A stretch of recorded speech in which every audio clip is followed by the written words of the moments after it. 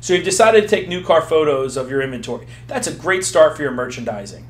But how do you get that photo percentage up? Because we know that's going to be a challenge operationally. Most dealers struggle to get to 50% of new car inventory. Of course, that, of course, that's a challenge because of the weather, vehicle wraps, cars in transit. All of these things impact your ability to get these photos done. So how do how does our company, Tru Images, help you do that? Well, we do that by applying a software and patent pending software that takes your inventory, the photos you've already taken, and applies those to clone vehicles. So if your car is exactly the same interior, exterior, we'll take those images and apply them to new inventory as they come in.